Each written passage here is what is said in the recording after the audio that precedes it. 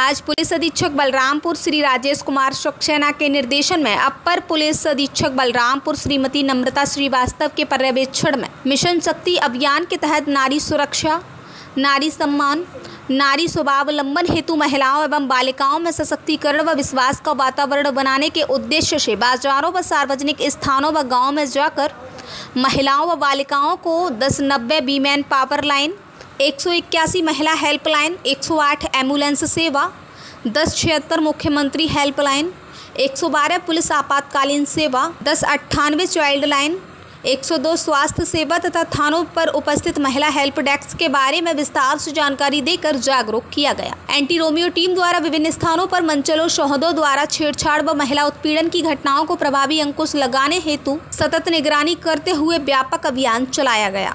तो घर वाले बाहर नहीं आते, नहीं आप लोग स्कूल आए हो, आपके स्कूल में हम आए हैं।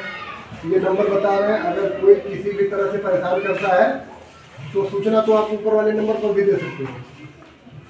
ठीक है? लेकिन जो लोग फ़ोन पे गूगल पे ये सब चीज़ें चलाते हैं, और इतफाक से कोई गलत ट्रांजेक्शन हो गया।